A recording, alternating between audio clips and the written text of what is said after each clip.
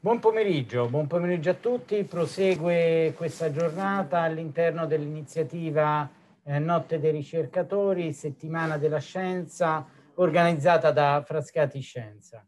Eh, questo è il terzo intervento nel corso della mattinata. I, eh, le tematiche che sono state il filo conduttore durante il corso della giornata, senz'altro eh, benessere del paziente, senz'altro eh, miglioramento della qualità della vita, tecnologia a supporto del miglioramento della qualità della vita, quanto mai connesso il, il tema di oggi con eh, l'emergenza sanitaria che stiamo vivendo, quanto mai il concetto di resilienza, come ci ha spiegato prima la professoressa eh, Trombetta, è quanto oh, mai eh, attuale. Il titolo di questa sessione è molto molto ambizioso, resilienza e futuro semplice. Qui accanto a me eh, c'è la professoressa Loredana Zollo, professore di bioingegneria e responsabile del Creolab, il eh, professor eh, Paolo Soda, eh, professore di sistemi di elaborazioni delle informazioni presso la facoltà dipartimentale del, dell'Università Campus Biomedico di Roma e il professor eh, Domenico Fermica, professore in bioingegneria industriale, eh, coordinatore, poi ci parlerà del eh, progetto Combots. Accanto a me eh, ho dei eh, ricercatori eh, che conosco, devo dire da lungo tempo, tutti e tre molto impegnati in progetti su bandi competitivi, impegnati con un approccio spiccato molto verso il mondo industriale e eh, verso tecnologie, ovviamente per le diverse specializzazioni, a supporto del paziente. La, eh, il, ehm, il, questa, questo evento oggi è suddiviso in tre slot, vedremo eh, dei video. Eh, lascio eh, alla professoressa eh, Loredana Zollo una brevissima, prima di approcciarsi al video in uh, introduzione del video che eh, ricorda, uh, eh, che ricorda esperienze pregresse fatte nel periodo anche pieno dell'emergenza sanitaria eh, di marzo. Il, il, tema è quello dei robot collaborativi e come essi possano essere eh, resilienti e come eh, essi possano supportare eh, verosimilmente eh, eh, il, tutto eh, l'apparato assistenziale anche in corsia o all'interno di ambienti di lavoro. Grazie professoressa. Grazie dottor Capriotti. Il robot collaborativo è un concetto moderno che si collega naturalmente alla robotica avanzata perché prevede un robot sempre più vicino all'uomo quindi nasce eh, come concetto dalla robotica industriale, quindi dall'ambito fortemente di automazione industriale, in cui il robot va al di fuori del, degli spazi confinati dietro diciamo, le cosiddette gabbie e si muove sempre di più verso un'attività lavorativa svolta in collaborazione con l'uomo attraverso il contatto con la persona. Quindi il robot è visto come una figura eh, che è sicura nell'interazione, che collabora con l'uomo, svolge insieme all'uomo dei compiti e insieme appunto cercano di migliorare anche il risultato dei compiti svolti. E questa è l'esperienza che noi invece abbiamo applicato in un contesto sanitario come quello del, dell'emergenza sanitaria Covid-19 nel periodo di lockdown, mettendo in campo un sistema robotico collaborativo, cioè pensato per collaborare con gli assistenti sanitari nell'ambito dei centri per il trattamento del Covid. E qual è l'elemento chiave di questi sistemi? Sicuramente la sicurezza nell'interazione, la capacità di interagire non soltanto da un punto di vista fisico, scambiando delle forze, ma anche da un punto di vista cognitivo e quindi anche la capacità di eh, utilizzare i sistemi di visione, navigazione autonoma e anche eh, diciamo, interazione verbale. E quello che vedremo nel video, per l'appunto un esempio di questo tipo di, eh, di sistemi, e di come possano, da, anche da questa esperienza, mi ricollego al concetto di resilienza, abbiamo messo in campo un sistema su cui appunto non stavamo ancora lavorando, ma che ci sembrava utile per uh, dare supporto anche al nostro policlinico nel momento uh, del, del lockdown e da lì è nata la nostra possibilità di emergere con nuovi progetti e nuovi spunti di ricerca su bandi anche competitivi a livello europeo che ci stanno consentendo di andare avanti con queste ricerche. Grazie.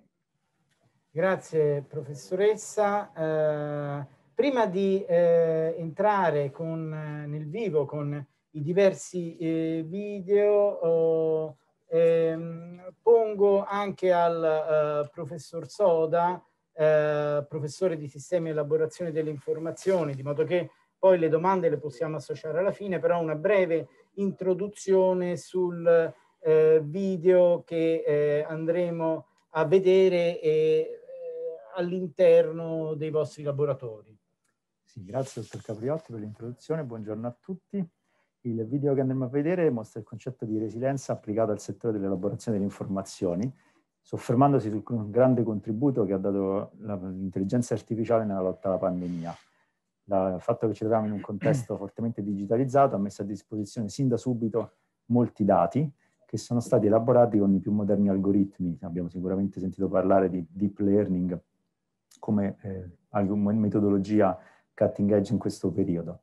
Vedremo quindi due applicazioni sviluppate all'interno del nostro laboratorio realizzate per dare supporto a, durante la fase acuta della pandemia, una dedicata all'elaborazione delle immagini come strumento di supporto per l'analisi prognostico, per l'analisi predittiva delle eh, radiografie del torace, e un'altra invece legata al monitoraggio intelligente dei pazienti in isolamento domiciliare.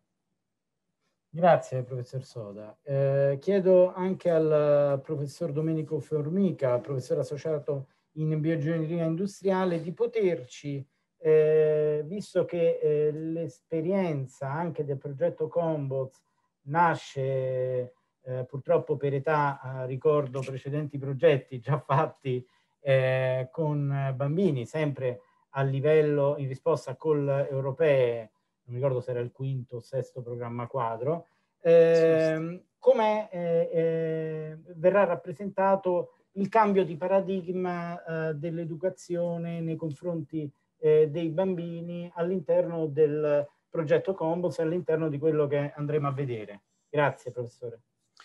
Grazie a lei per la domanda. Ehm, il progetto Combots, di cui vedete tra un attimo un breve video, appunto come ha anticipato il dottor Capriotti, si occupa di mh, fornire un cambio di paradigma nell'educazione dei bambini in particolare nell'apprendimento della scrittura e nell'apprendimento di eh, un nuovo strumento musicale, eh, utilizzando tecnologie robotiche. L'idea è quella di usare dei robot con cui eh, l'utente, in questo caso il bambino, si interfaccia, quindi dei robot eh, indossabili, che trasferiscono forze da una persona a un'altra. Quindi potremmo avere una situazione in cui due bambini imparano insieme a fare un nuovo compito, per esempio scrivere, oppure in cui il bambino viene guidato dall'aiuto di un insegnante ad imparare quel nuovo task motorio.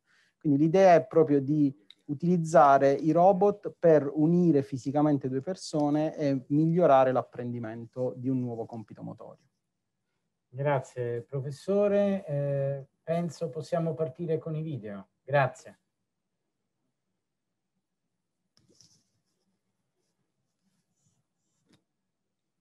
Il Creolab si occupa di tecnologie robotiche e meccatroniche pensate per essere utilizzate in ambienti umani e quindi per operare in collaborazione e cooperazione sinergica con l'uomo. È proprio in questo scenario che è partito il nostro progetto di ricerca sui robot collaborativi, pensati per essere utilizzati in ambiente eh, ospedaliero come assistenti sanitari. Infatti proprio in occasione del periodo di lockdown eh, causato dall'emergenza sanitaria Covid-19 abbiamo sviluppato un robot collaborativo per lo svolgimento di attività sia di logistica che eh, di sanificazione degli ambienti presso il campus Covid Center. In particolare tre sono le caratteristiche fondamentali del sistema che hanno reso possibile l'inserimento rapido ed efficace del Covid Center, sono la percezione, la movimentazione autonoma e la solidità strutturale. Il sistema infatti è dotato di una base mobile che è in grado di navigare nell'ambiente, individuare ostacoli, evitarli e raggiungere la destinazione selezionata. Abbiamo quindi sviluppato un'interfaccia utente specifica per gli operatori sanitari dalla quale l'operatore può selezionare la destinazione il robot trasporta efficacemente presidi ospedalieri, può annunciare il suo arrivo e quindi eh, procedere allo scarico del, del materiale. Attualmente stiamo continuando a investire su questo sistema, in particolare nell'ambito di due progetti, uno nazionale e l'altro europeo, per sfruttare la grossa potenzialità di questa piattaforma che oltre ad avere capacità di navigazione autonoma è dotata anche di un braccio antropomorfo che ha quindi ha 7 gradi di mobilità con il braccio umano, una mano che è rappresentata da una pinza e che quindi consente di aprire e chiudere eh, l'effettore effettuando dei compiti di presa e manipolazione e una testa che eh, consente di, appunto di vedere e integrare la visione attraverso due telecamere RGBD. Ciò consente di replicare quei processi di integrazione visuomotoria che noi applichiamo durante l'esecuzione di qualsiasi attività lavorativa o quotidiana. Si basa su un approccio che noi chiamiamo Learning by Demonstration, in cui un operatore umano mostra e insegna al robot come eseguire dei compiti i compiti mostrati vengono immagazzinati all'interno di un database, poi attraverso degli algoritmi intelligenti il robot accede al database, estrae le informazioni utili allo svolgimento del compito e le esegue riproducendo fedelmente quanto precedentemente registrato su uomo.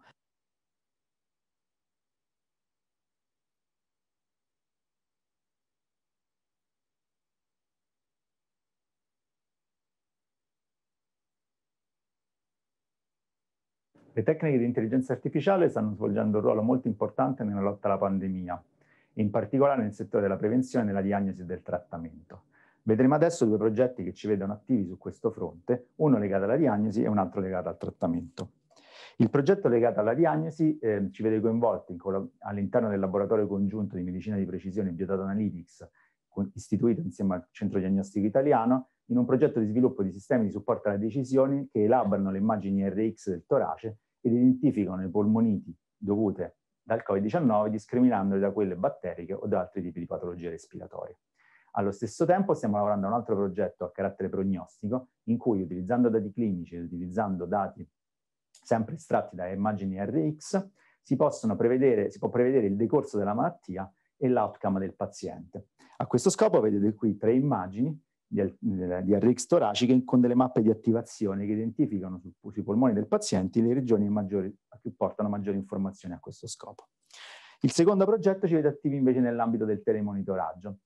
Abbiamo realizzato insieme a uno spin-off accreditato del campus biomedico BPC Media un, un servizio di telemonitoraggio intelligente per, dedicato a pazienti Covid e a pazienti affetti da patologie croniche dell'apparato respiratorio come la BPCO.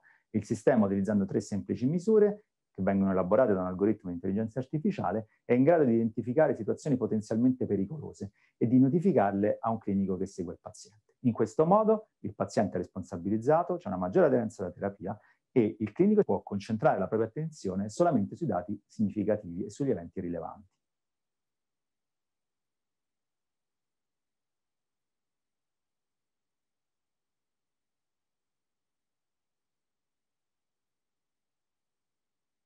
Oggi vi parlerò del progetto Combots. Combots significa Connected Through Robots, eh, cioè vuol dire connessi tramite i robot. Um, l'idea è quella di utilizzare i robot per connettere fisicamente due persone eh, al fine di facilitare l'apprendimento motorio. È pensato per eh, essere applicato ai bambini che imparano a scrivere e a suonare uno strumento.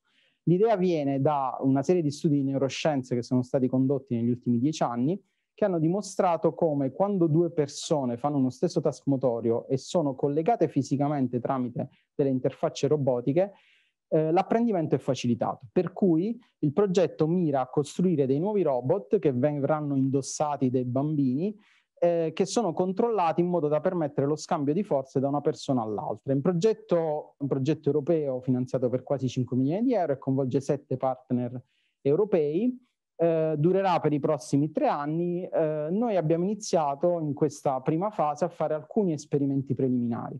Un esperimento è quello che vedete alle mie spalle, in cui non siamo nello scenario educativo, quindi della scrittura del, dell'insegnamento di uno strumento, ma ci sono due persone che utilizzando i robot interagiscono tra di loro perché i due robot trasmettono le forze di una persona all'altra mentre stanno imparando a fare un task motorio che è inseguire un eh, cursore su uno schermo.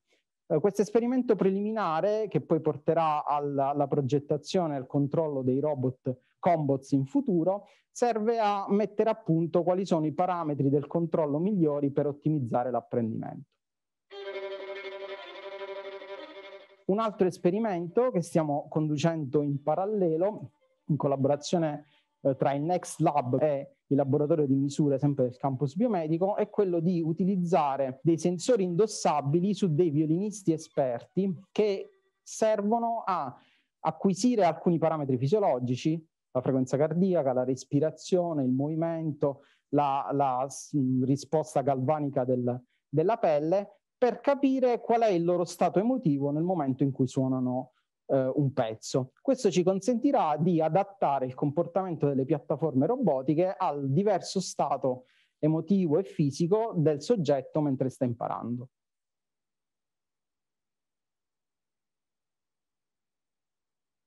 Grazie, grazie ai nostri ricercatori. Eh, devo dire, pur conoscendoli da tempo, fa sempre molto piacere vedere eh, quanta resilienza veramente ci sia in tutte le loro eh, ricerche. Ci sono tre domande eh, che nel frattempo sono arrivate. Eh, vado in ordine. Per la professoressa Zollo, quali ulteriori sviluppi potrebbe avere il robot collaborativo in campo sanitario? Può fare qualche esempio pratico? Certamente, noi uh, due esempi pratici sono direttamente connessi ai progetti che stiamo sviluppando un, un primo progetto che eh, su un bando regionale ehm, qui appunto nel Lazio riguarda l'utilizzo della stessa piattaforma robotica che abbiamo visto, quel um, robot collaborativo mhm. bianco, um, pensato per replicare un comportamento um, di, del fisioterapista nella somministrazione del trattamento riabilitativo abbiamo visto che quel sistema offre la, la possibilità di sfruttare le informazioni visive, oltre che eh, la, anche una, una, capacità di sintesi vocale, oltre che la capacità di movimentazione. Quindi eh, ciò che stiamo facendo è studiare esattamente cosa avviene nell'interazione tra il fisioterapista e il paziente durante un tipico trattamento riabilitativo, sia dal punto di vista fisico che cognitivo, anche in termini di eh, scambio di espressioni facciali piuttosto che espressioni verbali e cerchiamo quindi di riprodurlo su un sistema robotico perché possa essere replicato in un trattamento riabilitativo di tipo robot mediato, cioè quindi in presenza di un robot. L'altro, questo offre il vantaggio, c'è cioè una, una, una, ricca letteratura su questo che dimostra quali possano essere i vantaggi, e ne sono diversi, dell'utilizzo di un robot nei trattamenti riabilitativi. Sicuramente ci sono aspetti legati a, um, una maggiore eh, diciamo, standardizzazione del trattamento riabilitativo, oltre che una quantificazione del recupero. L'altro aspetto su cui stiamo lavorando nell'ambito di un progetto europeo è invece quello di utilizzare il robot come infermiere all'interno degli ospedali, quindi dei robot che possano svolgere un ruolo sia eh, nei turni diurni che notturni di monitoraggio delle corsie ospedaliere e quindi dei pazienti, soprattutto nelle parti di geriatria, dove soprattutto nelle fasi notturne possono, i pazienti possono alzarsi, hanno bisogno di assistenza, possono aiutare le persone anziane nella deambulazione, il robot può uh, portare farmaci piuttosto che supporto alla deambulazione, alla movimentazione nel letto e via di seguito. Quindi il secondo scenario su cui stiamo lavorando è quello invece più di riferimento in ambito infermieristico, in cui il robot con la sua capacità di integrazione sensorimotoria può replicare eh, diciamo, il ruolo di un infermiere e quindi aiutarlo soprattutto nei turni notturni. Eh, grazie professoressa. Eh, vedo che c'è eh, un'altra domanda per lei. Eh, in questa eh, molto interessata alla mappatura degli spazi. In quanti ambienti può girare il robot evitando gli ostacoli? Ma di fatto il, eh, il, il, limite del robot non è tanto il numero di ambienti quanto la durata della batteria perché è un sistema da navigazione autonoma ma che ha bisogno di utilizzare una batteria per muoversi e ha una durata di circa 4 ore. Eh, per cui eh, ha bisogno ulteriormente di una fase iniziale di mappaggio dell'ambiente, cioè bisogna accompagnare teleguidandolo con un joystick nell'ambiente in cui dovrà navigare autonomamente, in quella fase di mappaggio il robot impara e registra la mappa dell'ambiente, quindi ha un suo database interno all'interno del quale vengono inseriti i dati relativi a quell'ambiente e quindi quando torna a navigare autonomamente in quell'ambiente carica quella mappa e si mu muovere liberamente. Grazie a dei sensori integrati nella base mobile eh, può eh, individuare ostacoli ed evitarli. I sensori consentono di effettuare una scansione dell'ambiente, individuare l'ostacolo sia statico che dinamico e quindi aggirarlo evitandolo. Abbiamo verificato che effettivamente il livello di affidabilità è molto alto, non è al 100%, ma insomma siamo nei dintorni, nei dintorni del 100% di affidabilità, sia in presenza di eh, ostacoli statici, quindi fermi, che in presenza di persone che si muovono, tipo gli operatori sanitari, a una velocità naturalmente di un passo tranquillo o comunque lavorativo.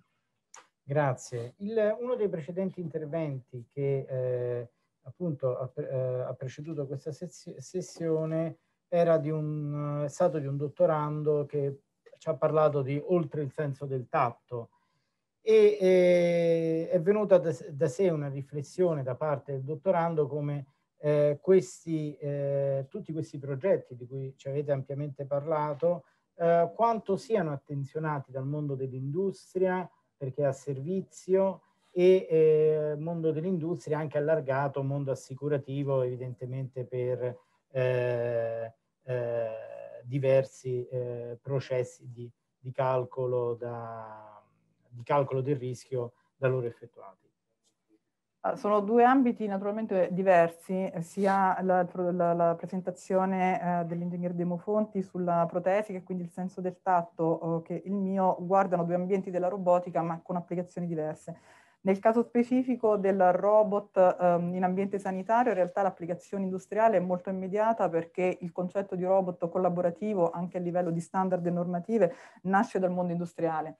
Quindi c'è un'esigenza molto forte del, dell'ambiente industriale, anche manifatturiero, uh, in, incluso anche tutto l'ambito delle, delle, aziende automobilistiche, per esempio il settore automotive, per ehm, l'utilizzo e l'inserimento di robot collaborativi sulla linea, ovvero dei robot che non sono chiusi dietro le barriere a effettuare dei compiti in maniera singola, autonoma e separata dall'uomo, ma che possono effettivamente affiancare la persona anche sulla linea di montaggio e passandosi eh, appunto dei pezzi e collaborando soprattutto in attività pesanti o molto diciamo stressanti dal punto di vista fisico. Per quanto riguarda invece la protesica, eh, sì, come menzionava bene il dottor Capriotti, c'è un interesse molto forte anche da parte delle assicurazioni per tutto ciò che può concernere gli incidenti, i traumi, Uh, i problemi, appunto, gli infortuni che avvengono anche in ambito lavorativo, perché uh, uno dei problemi importanti è che uh, non soltanto l'amputazione, ma anche altri tipi di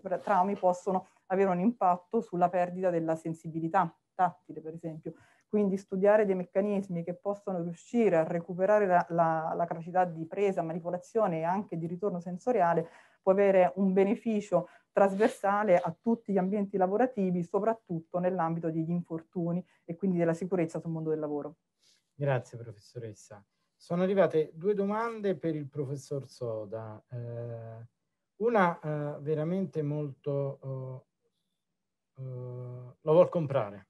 Cioè, mi viene da dire, si vuole comprare questa roba. L'app è accessibile a tutti? Cosa bisogna fare per averla? Allora, eh, L'app è accessibile a tutti sullo store um, Google, di Google, è un'app disponibile sulla piattaforma Android. Eh, bisogna acquistare un kit con un pulsiossimetro perché le misurazioni vengono fatte utilizzando un, un pulsiossimetro che trasmette al, allo smartphone su cui gira l'app e al cui interno è integrato l'algoritmo di intelligenza artificiale. Quindi acquistando il pulsiossimetro è poi possibile attivare il prodotto.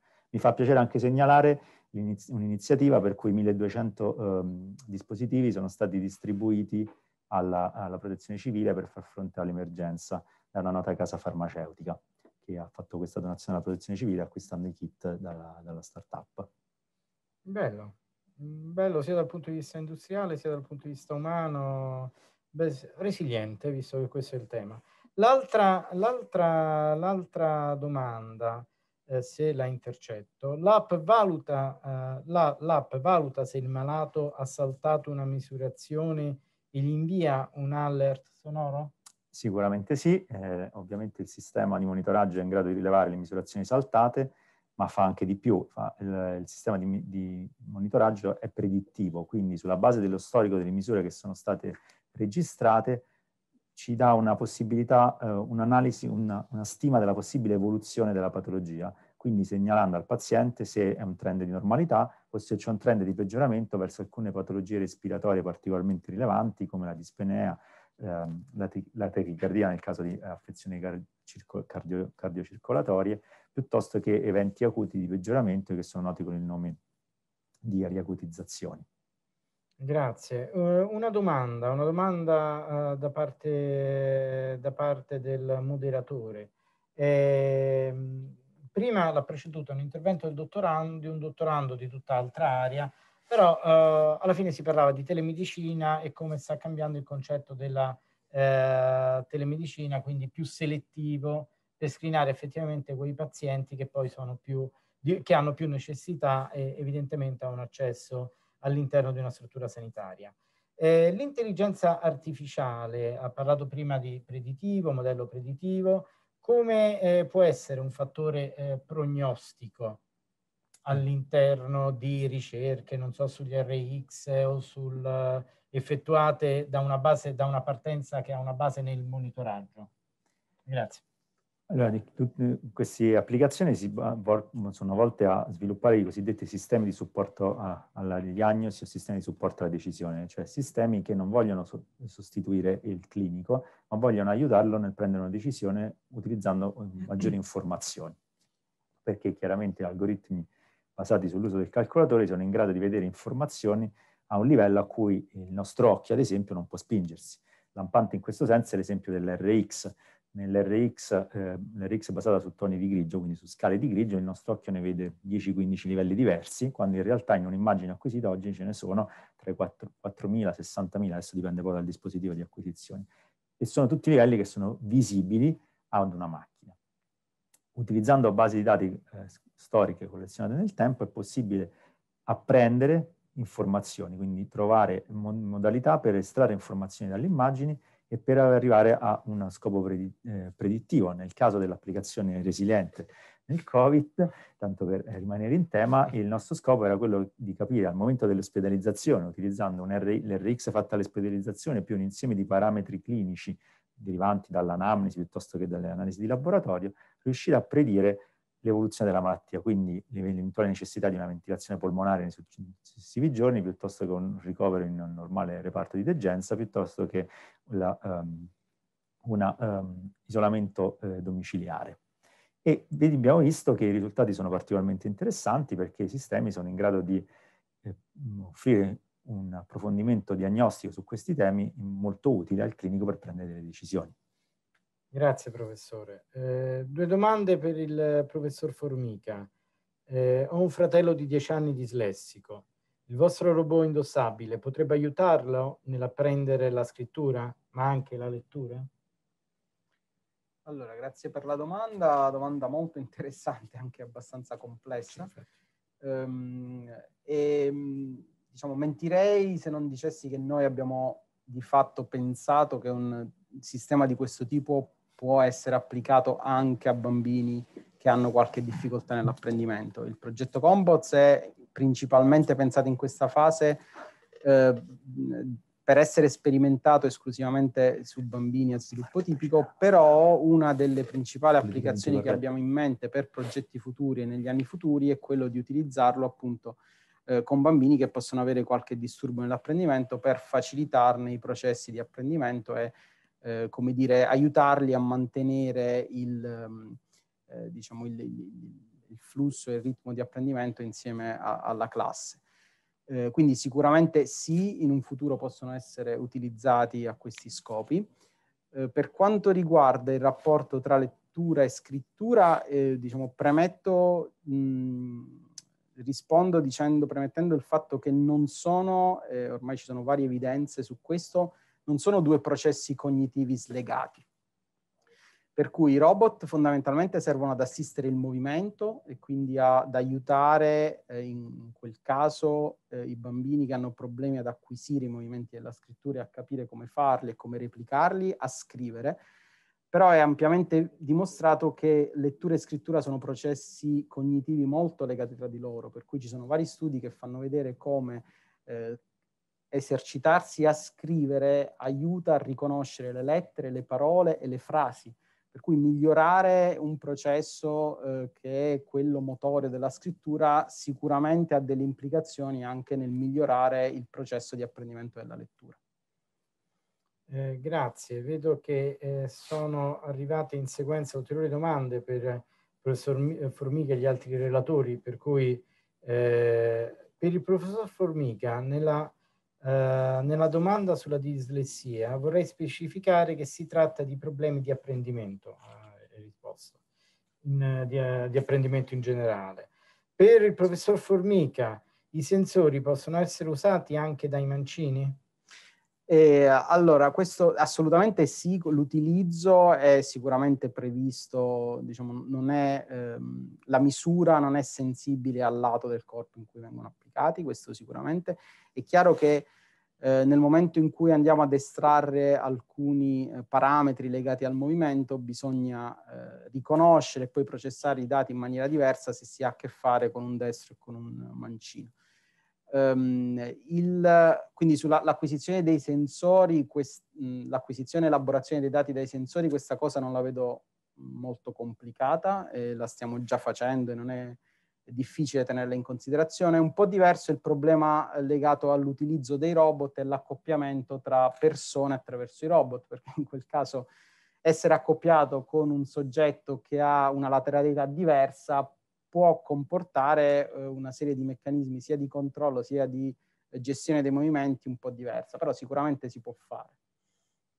Altra domanda, l'esempio del violino è casuale? Si può usare la batteria, dico io qui, eh, eh, scrive si può usare anche con altri strumenti musicali? Allora, all'interno del progetto, eh, per sintesi abbiamo mostrato il violino, in realtà all'interno del progetto sono mh, previste due utilizzi per quanto riguarda la musica, uno è il violino e l'altro appunto è l'utilizzo della batteria. Eh, no. di, sì, non so se era un caso, se, eh, quindi ci saranno due, come si chiamano, dimostratori, eh, per far vedere che i robot si possono utilizzare per un compito eh, che di tipo, si dice, fine motore, cioè che, che, va a coinvolgere dei processi di controllo del movimento e dei muscoli che fanno fare movimenti fini, delicati, eh, non troppo veloci come quello del violino, anche se pure lì si può arrivare anche a velocità non troppo eh, basse, e poi accoppiarlo con un compito che è di tipo completamente diverso, cioè che prevede movimenti un po' più di forza e movimenti ritmici? Mm? quindi in cui eh, l'output del movimento non è, eh, è, è, qualcosa che è legato al ritmo. Quindi abbiamo già pensato all'interno del progetto di applicarlo a questi due classi di, di strumenti per vedere un po' che sono molto diversi tra di loro, per vedere quanto ampio è lo spettro di applicazione. Eh, da parte mia eh, una domanda al professor Formica. Eh, nell'introduzione si è par parlato di cambiamento del paradigma eh, eh, educativo. Eh, su questo oggi si sente tanto parlare, eh, considerata l'emergenza della DAD, eh, della didattica a distanza. Eh, rischia di essere un sistema chiuso questo progetto? Eh, no, grazie per la domanda. Nel senso, ad essere onesti, il progetto è nato, è stato pensato ed è stato anche approvato al finanziamento in epoca pre-Covid. Sembra un, qualche millennio fa, ma di fatto eh, diciamo, l'anno scorso di questi tempi stavamo ultimando le pratiche per firma, siglare il contratto con la Commissione europea. Quindi solo un anno fa non c'era ancora in Covid, nessuno, magari c'era ma nessuno di noi lo sapeva ed è stato pensato in quelle circostanze. Eh, in realtà per, per, come funzionano questi tipi di dispositivi, almeno per come pensiamo di progettarli, il fatto che due persone siano nella stessa stanza o siano a distanza di, non so, mille chilometri e connessi tramite internet, eh, non fa troppa differenza sulle modalità di utilizzo della macchina. Quindi anche se non è stato pensato a quello scopo, è sicuramente uno strumento nuovo che può dare un grosso eh, impulso soprattutto nella didattica a distanza, perché il grosso problema della didattica a distanza è che il, il flusso di informazioni si riesce a trasferire, quindi le immagini, le parole, l'audio si riesce a trasferire facilmente. Quello che è difficile trasferire è eh, le forze, no? Quindi quando uno sta imparando a suonare uno strumento, molto spesso il maestro si avvicina, ti prende il braccio, ti fa vedere come si fa, anche quando uno impara a scrivere, la maestra, il maestro, la maestra mette le mani sopra la mano e ti segue. Quella parte lì di contatto fisico ovviamente non si può fare a distanza, i robot consentono di farlo. Grazie, grazie, veramente nuove frontiere.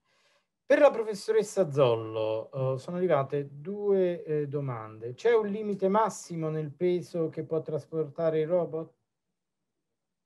Sì, c'è un limite massimo nel peso che può trasportare il robot, questo sì.